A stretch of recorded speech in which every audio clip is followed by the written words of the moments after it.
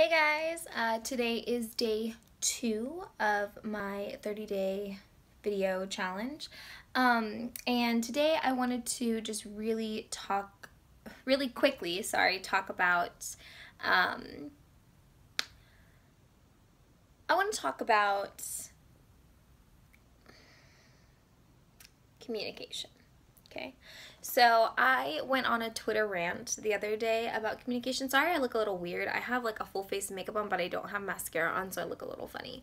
But I am about to go to work again, and I feel like I might be doing my videos every day in this robe too, because I feel like it just adds like a homey feel, you know, like you're sitting in my living room with me, um, even though I'm in my room. Anyways, so, um, I went on a Twitter rant the other day about communication because I feel like it's something that so many people don't understand how simple and how not simple but how not hard it is. People think that communication is hard and it's really not. Um,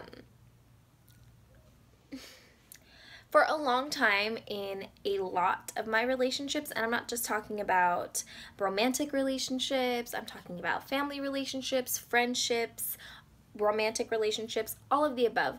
For so long, like for basically my whole life, up until about, I would say I've gotten a lot better at it in the last year and a half.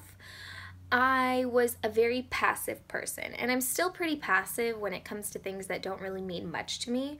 But the things that are important to me, I am, I, I can't be passive anymore.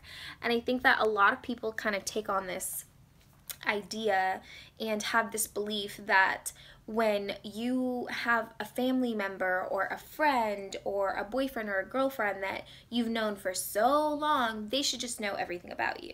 They should know everything about you. They should know what you love. They should know what you like. They should know what you don't like, what's okay, what's not okay. And basically, they should be mind readers. And I think that that is wrong. I don't think that the person that you are in a relationship with, a person that's your best friend, a person that is in your family, should have any obligation to read your mind because you want to know what's on their mind? Their stuff. Like, no one, I've I had, I had, um, somebody once tell me that no one's thinking about you. People are thinking about themselves. 99% of the time, 100% of people are thinking about themselves. And I'm not saying that they're selfish, but they're for sure thinking about themselves. They have their own family, they have their own friends, they have their own bills, they have their own issues, they have their own exciting things happening in life. Like, not everyone is thinking about you. That's just the truth. And that is kind of something that we don't really want to admit to ourselves sometimes that we're not the most important person on the planet. But and i know that when you're obviously if you're married or you're in a relationship you want your husband or your wife to pay attention to you and you want them to think the world of you and you want them to like you know you want them to be thinking about you of course but there's a hundred million things going on in your mind right now. There's a hundred million things going on in my mind right now. And I bet you and I are not thinking about each other right now. My point is, is that I feel like a lot of people believe that people should be mind readers. They should know what's okay, what's not okay, what you like, what you don't. And I think that that can cause a lot of issues when it comes to communication. Because if you're thinking oh well he should already know why i'm mad or she should already know why i'm mad or she should already know that i don't like that and it's like okay but if you're that upset about it or if you really have an issue or if you're really feeling like you're not being appreciated or you're not being understood or you're not being cared for in the relationship friendship, family family relationship, if you're not getting what you need out of that out of that like companionship, then you need to say something because you shutting down, being passive, um, just kind of doing the silent treatment thing, is all a little overrated and it's not going to get you anywhere because that person isn't all of a sudden going to know why you're mad. So if you want to have healthy relationships and you want to make another person treat you the way that you would like, you have to kind of teach them that. You have to kind of spell it out for them because most people, like I said, aren't thinking about you. So if I am doing something that one of my friends just, if I'm calling them a nickname or if I, sorry, I've been having hiccups the last couple days. If I'm calling them a nickname, or if I have a certain, um, you know, habit that I do that, that really bothers them, I would want them to tell me like, hey Meraiah, you know what, you do this thing, I don't really like it. Um, it kind of comes off this way or that way, and you know what, I'm probably gonna get a little hurt. I don't really like when people criticize me, but, well, I don't really like when my close friends criticize me, but if I am doing something that's hurting them or hurting their feelings, I would much rather them tell me and take a sting and stop doing that then to continue hurting them and then building up this silent resentment or this, you know, this hidden like anger towards me. It's just not healthy and then things pop off later.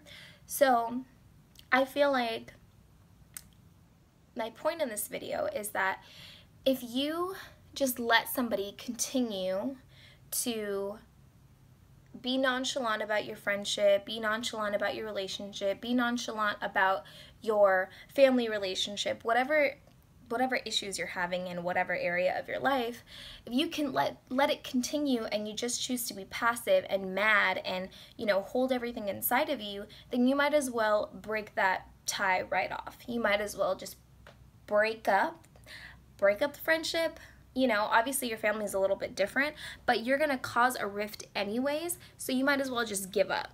Because if you're not to take the time to you know, speak up for yourself and not just for yourself, for them, because chances are they don't even know that they're doing something to bother you. They don't even know, you know, that you're upset with them. They don't even know that, you know, they can be annoying sometimes.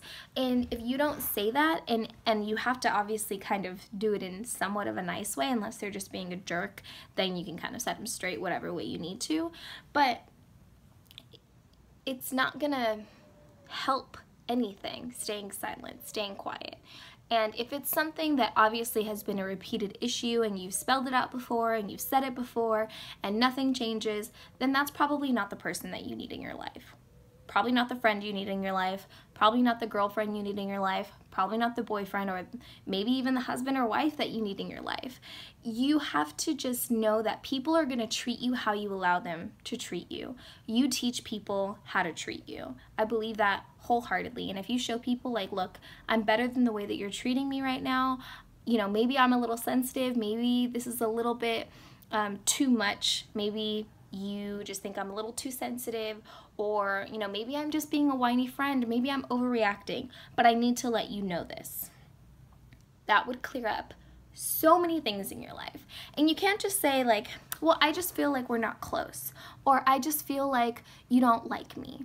You have to kind of give specific specific scenarios and examples because like I said, people don't know things. People can't read minds. People don't even know what they're thinking about or how they're feeling half the time. Most people today are walking around confused about everything. Confused about their life, confused about how they feel, confused about the people in their life. They have no sense of security or certainty.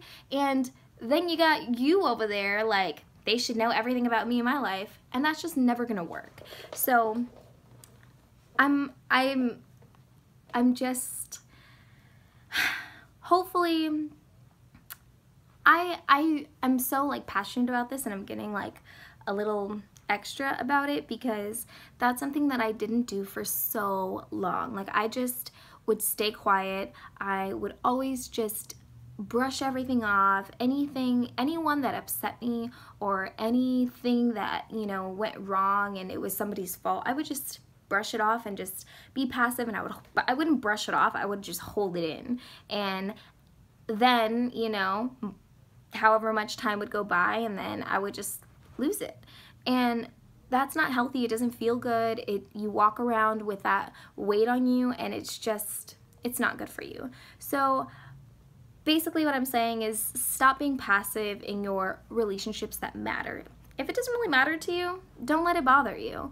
Um, but if it's somebody that's really important in your life, a best friend, a significant other, a family member, you have every right to say how you feel and why you feel that way, and they have every right to know how you feel. If they are going to do anything to fix it and you're going to do anything to fix it, you both have to know the issue at hand. So that's a little bit on communication and this mind reading theory that I have. Um, and I hope that you guys enjoyed this video and I hope that you're going to enjoy the rest of this challenge. I'm excited and I am ready to keep making these videos. So uh, thanks guys. I hope everybody has a wonderful day and I'll see you in my next video.